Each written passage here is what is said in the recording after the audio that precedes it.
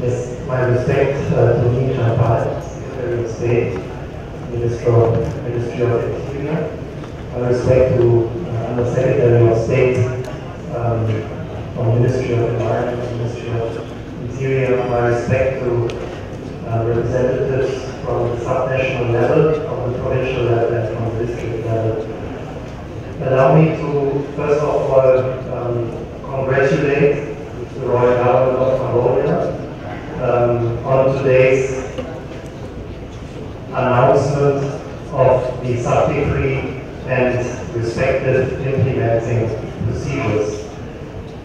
Personally, I think that the government is the service provider for the citizens and the closer the services will be offered to the citizen, the better it is.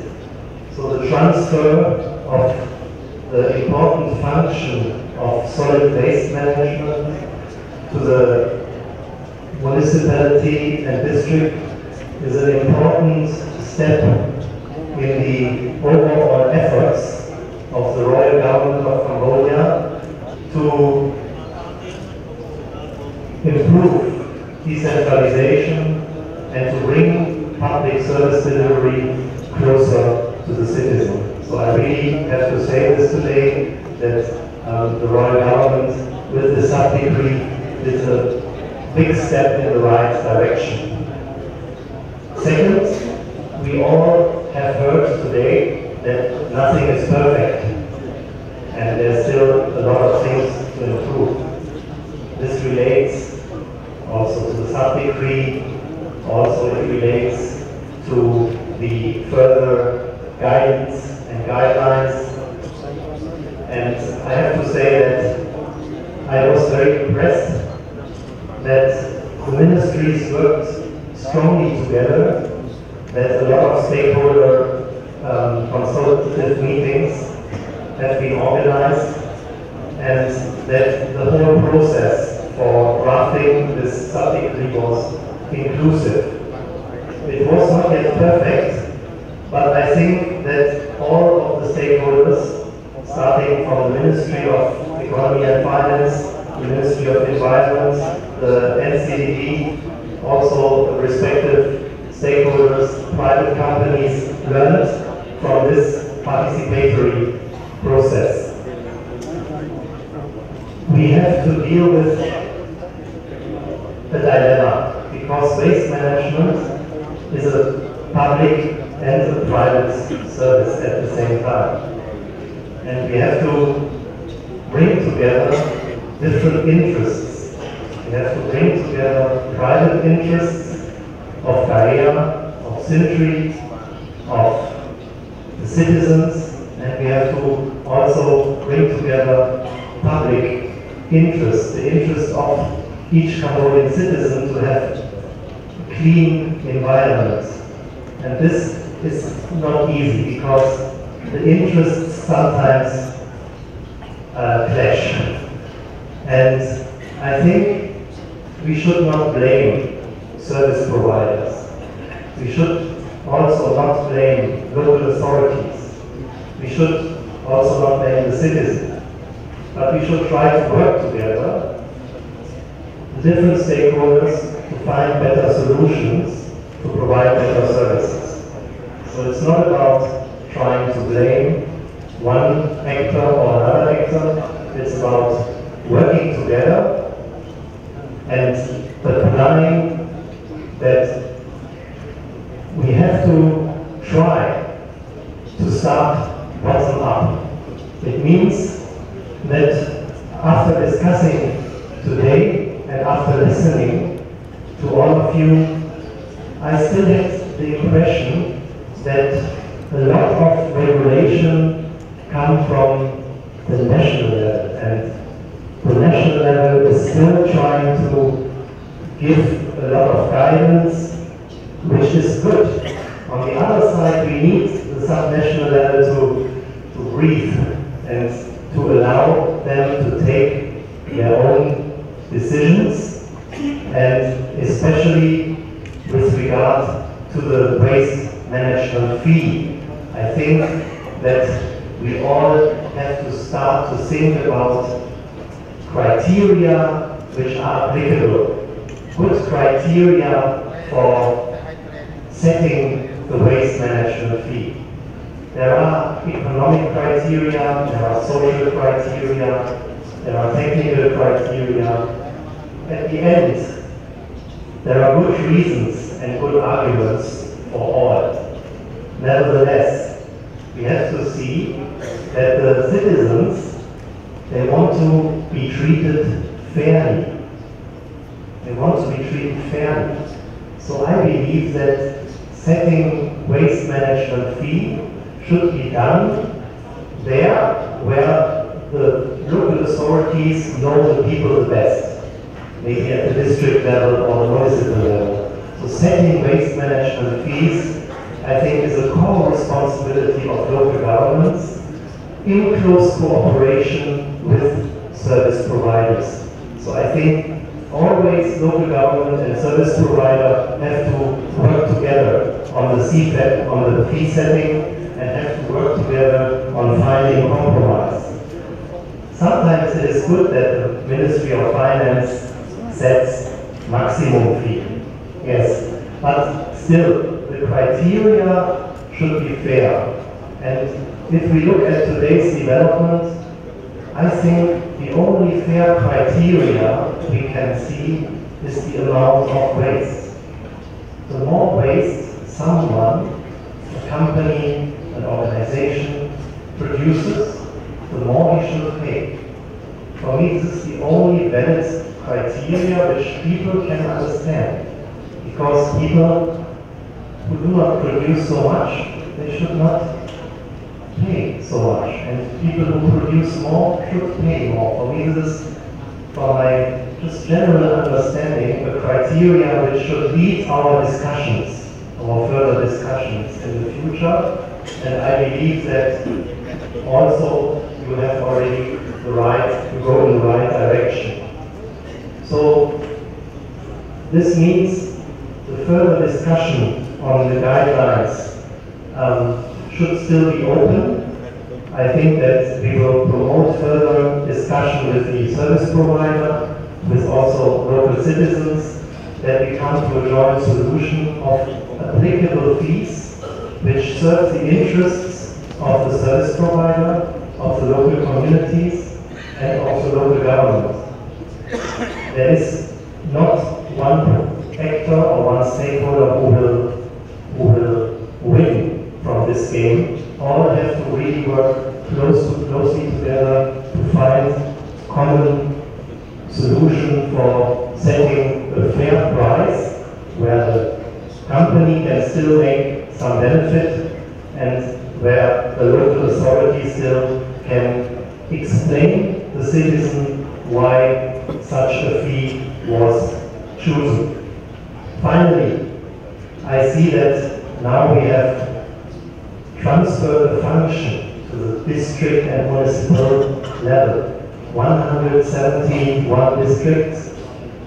Maybe some districts are too small to produce waste, and some districts might want to cooperate with other districts in their neighborhood to see if the amount of waste is interesting for a service provider to come in, to invest, because only if the amount of waste is big enough, the service provider might jump in. But there are other solutions. There are solutions where the local community can organize the collection of waste on their own through um, strong cooperation with local associations.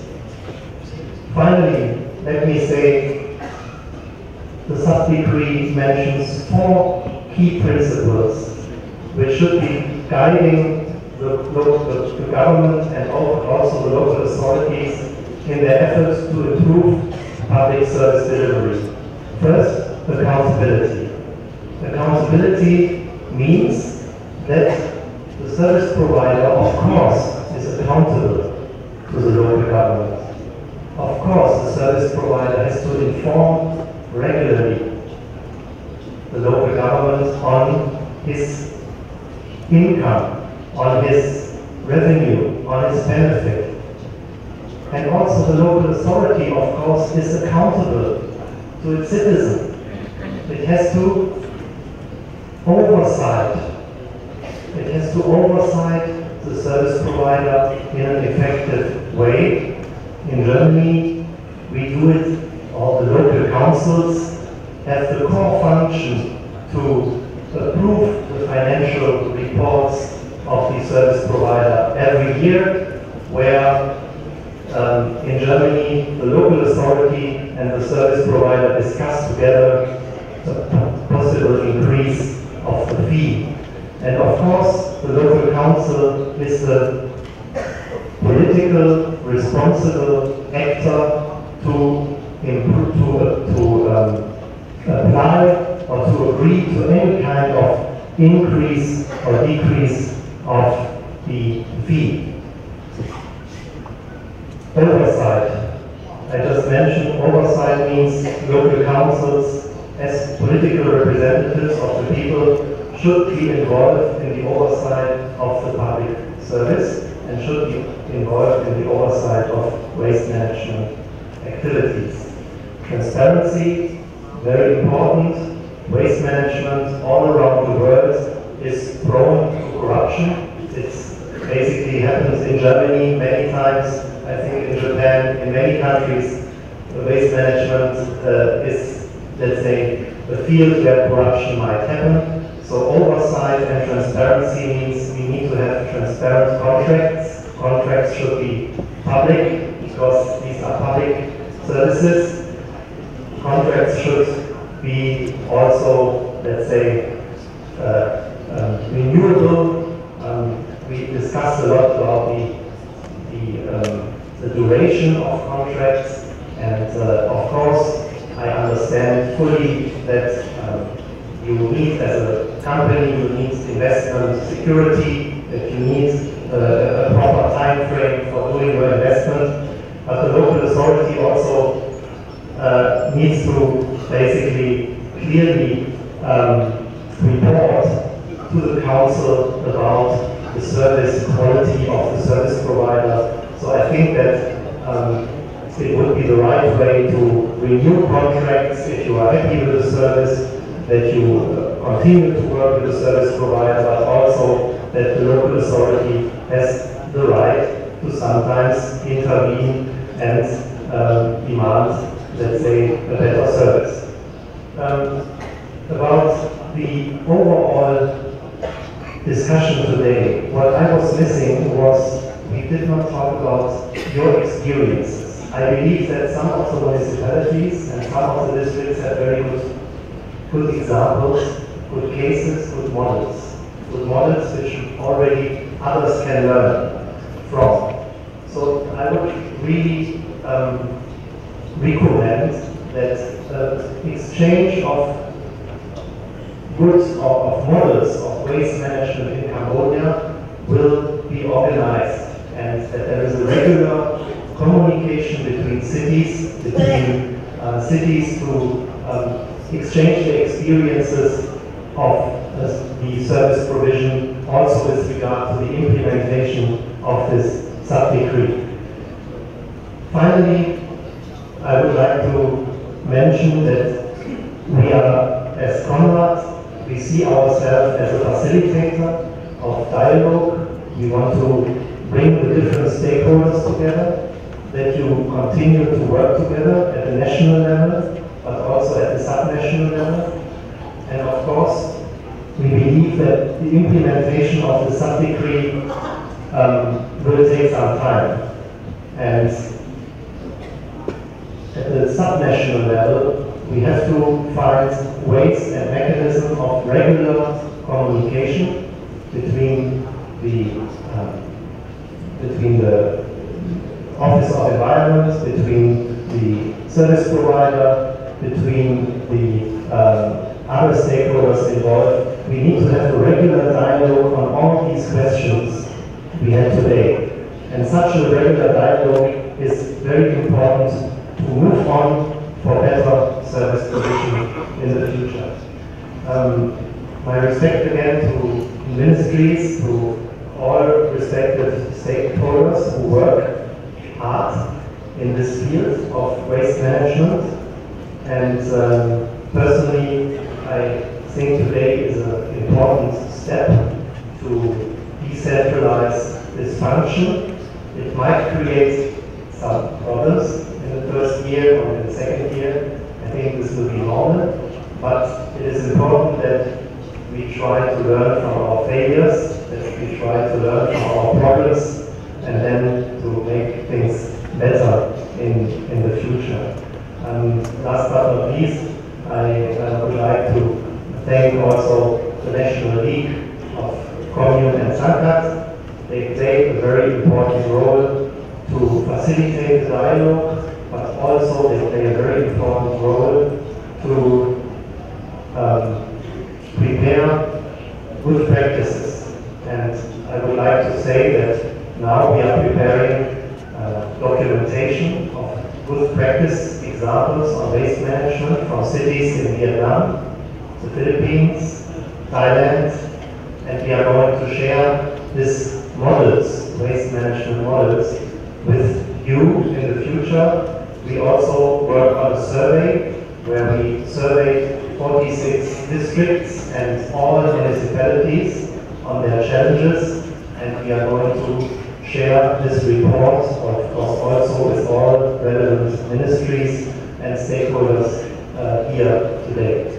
So good luck with the implementation of this sub-decree and um, again congratulations for this uh, important step in the formulation of this legal uh, instrument. Thank you.